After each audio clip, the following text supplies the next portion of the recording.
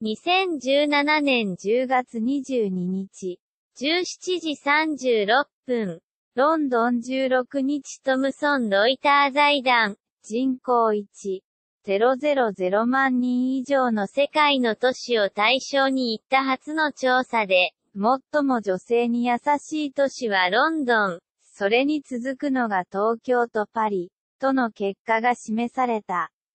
この調査はトムソン・ロイター財団が世界19都市を対象に行ったもので、女性の経済的な進出、性的嫌がらせ、医療機関の利便性、文化、宗教的観光の4つの面から調査した。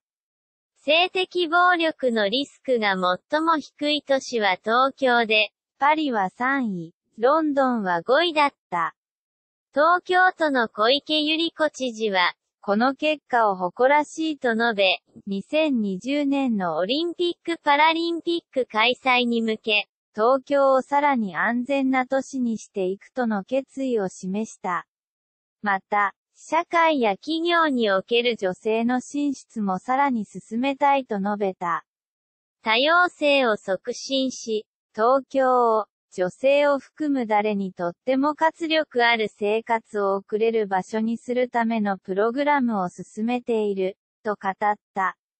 ニューヨークは全体で7位、経済的な機会では9位となった。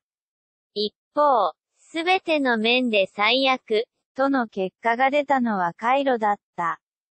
専門家らはカイロの女性は経済的に不安で、女性に対する偏見や有害な観光がこうした面で女性の妨げとなっていると指摘する。